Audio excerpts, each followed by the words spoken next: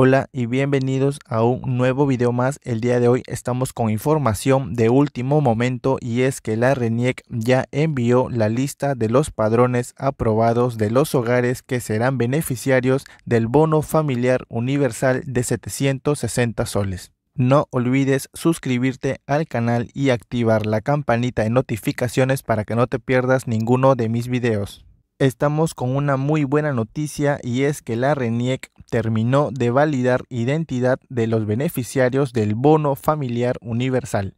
La relación preliminar ya fue entregada al Ministerio de Trabajo y al MIDIS, encargados de elaborar padrones a partir de los cuales se crearán las cuentas DNI.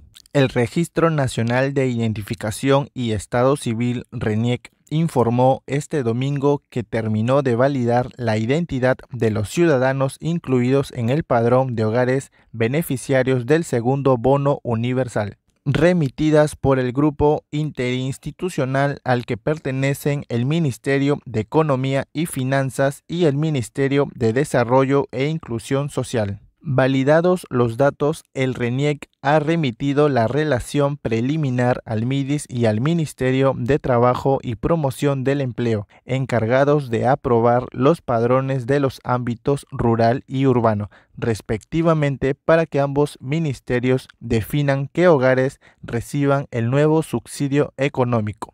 La institución registral indica que su participación en este proceso se ciñe a lo dispuesto en el decreto de urgencia número 098-2020, que establece medidas adicionales extraordinarias para reducir el impacto negativo en la economía de los hogares afectados por las medidas de aislamiento e inmovilización social obligatoria. La cuenta DNI de acuerdo a esta norma, a partir de la información contenida en el Registro Único de Identificación de las Personas Naturales, donde se encuentran todas las personas que cuentan con un documento nacional de identidad que es el DNI, se creará la cuenta DNI de manera masiva y automática para los peruanos identificados mayores de edad en coordinación con el Banco de la Nación. El trabajo del organismo registral consistió en proporcionar datos del registro único de identificación de las personas naturales y en verificar si los datos personales eran correctos, además de señalar quienes tenían alguna restricción en su documento nacional de identidad, como ha ocurrido con otros bonos destinados a mitigar los efectos de la pandemia, el RENIEC ha puesto a disposición del Estado peruano una plataforma tecnológica y su base de datos Asimismo, tendrá a su cargo la plataforma de comunicación donde los beneficiarios podrán conocer el lugar, la fecha y la modalidad de cobro. Esta plataforma utilizará la tecnología empleada en anteriores entregas. Lo más importante es que ya la RENIEC se ha pronunciado y ha enviado la lista de los padrones de los hogares que serán beneficiarios del nuevo bono familiar universal segundo tramo. Ahora vamos a ver algunos ejemplos de qué personas van a volver a recibir estos 760 soles y qué personas van a recibir 1520 soles. Vamos ahora con este cuadro de ejemplo el beneficiario Luis recibió el primer bono que fue Yo me quedo en casa, lo recibió en dos armadas de 380 soles, sumados sale 760 soles. Eso fue lo que recibió en el primer bono. Ahora, en este segundo nuevo bono, volverá a recibir 760 soles. En total, habría recibido 1.520 soles. Vamos con otro ejemplo. Manuel también recibió el bono Yo me quedo en casa en dos armadas de 380 soles, sumado sale 760 soles. En este segundo nuevo bono recibirá 760 soles, haciendo un total de 1.520 soles. Ahora vamos con el beneficiario José él recibió el bono independiente. Le otorgaron 380 soles en dos armadas, sumando sale 760 soles. En este segundo nuevo bono recibirá 760 soles, haciendo un total de 1520 soles. Vamos con otro ejemplo. Marta recibió también el bono independiente, pero esta vez recibió en una sola armada de 760 soles. En este segundo nuevo bono volverá a recibir 760 soles, haciendo un total de 1520 soles. Vamos con otro ejemplo. María recibió el bono rural le hicieron el pago en una sola armada de 760 soles. En este segundo nuevo bono volverá a recibir 760 soles, haciendo un total de 1.520 soles. Vamos con otro ejemplo. Rosa fue beneficiaria del bono rural. Le hicieron el pago de 760 soles en una sola armada.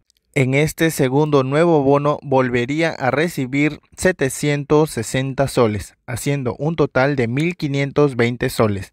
Ahora, la beneficiaria Teresa recibió el bono familiar universal primer tramo. Le hicieron el pago de 760 soles en una sola armada. Volvería a recibir 760 soles del segundo nuevo bono, haciendo un total de 1.520 soles. Ahora vamos con Martín. Recibió el bono familiar universal primer tramo. Le hicieron el pago de 760 soles en una sola armada. En este segundo nuevo bono volvería a recibir 760 soles, haciendo un total de 1.520 soles.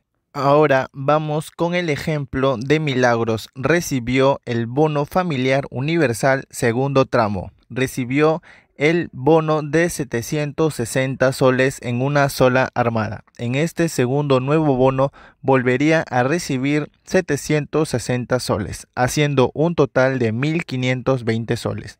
Julia recibió el bono familiar universal segundo tramo. Le hicieron la entrega de 760 soles en una sola armada. En este segundo nuevo bono volvería a recibir 760 soles, haciendo un total de 1.520 soles. Roberto se inscribió en el Registro Nacional de Hogares, saliendo beneficiario del Bono Familiar Universal segundo tramo. Se le otorgó el primer bono de 760 soles. Volvería a recibir el segundo bono de 760 soles, haciendo un total de 1.520 soles. Ahora vamos con la lista de beneficiarios de la ONP. Como sabemos, también van a incluir a los afiliados inactivos que no estén trabajando ni aportando a ONP. Vamos con este ejemplo. Hugo es un afiliado inactivo. Él no recibió ningún bono y en este segundo nuevo bono universal cobraría 760 soles. Isabel es una afiliada activa, ella no cobró ningún bono por parte del Estado y en este segundo nuevo bono familiar universal no podría ser beneficiaria.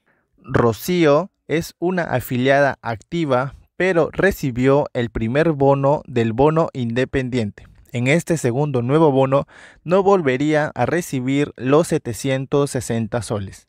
César es un jubilado de la ONP. No recibió ningún bono por parte del Estado y en este segundo nuevo bono saldría beneficiario para cobrar 760 soles. El MIDIS ahora teniendo la lista de los padrones beneficiarios del bono familiar universal segundo tramo, solo nos tocaría esperar la fecha oficial para la entrega de este subsidio de 760 soles. Espero haberte ayudado con esta información. No olvides suscribirte al canal, compartir el video y dejar tu like. Si tienes alguna duda o consulta, te leo en los comentarios. Nos vemos en un próximo video. Chao.